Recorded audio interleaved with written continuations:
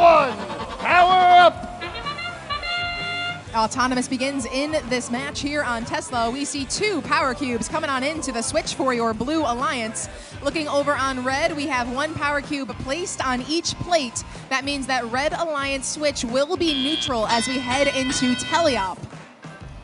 It looks like Torquenadoes on the Red Alliance will very quickly establish possession of the Red Alliance switch. They've got some ground to cover, about 25 points separating these two teams, a Blue Alliance advantage. And right away, Sobots in blue will grab hold of the scale to add two points per second to the Blue Alliance score.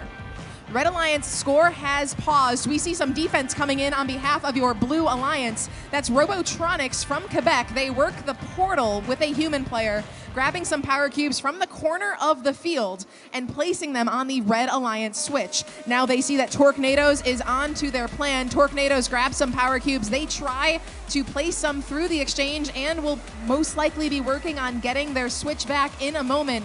Red Alliance still has their score paused with under a minute and a half remaining in this match. Torquenadoes in red, they have passed through plenty of power cubes through the exchange. None of them placed in the vault quite yet, but the Red Alliance is working on developing a plan to use their power-ups. Looking toward our Blue Alliance, Sobots has tipped over near the Blue Alliance switch and the first power up comes out of your Blue Alliance. They now pick up four points per second with a level three boost power up, while the Red Alliance plays their Levitate. Under one minute left now. Red Alliance has a bit of an opening here. 2169 KING TeC. They raise some power cubes up and over onto the Red Alliance portion of the scale. It tips momentarily onto red. We will see if it will stay there. And once again, your Red Alliance is accumulating some points, both sides picking up one point per second as we enter our end game.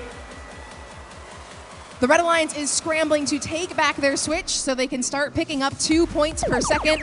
We see another power up, make that two power ups coming out of your Blue Alliance. That's a Force and a Levitate.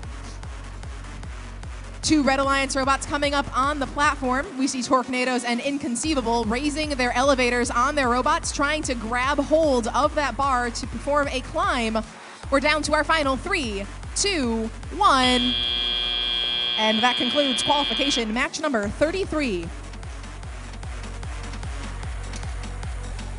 Final score coming up on the screen for you now. Your winner was your Blue Alliance. Blue Alliance wins 372 to 109.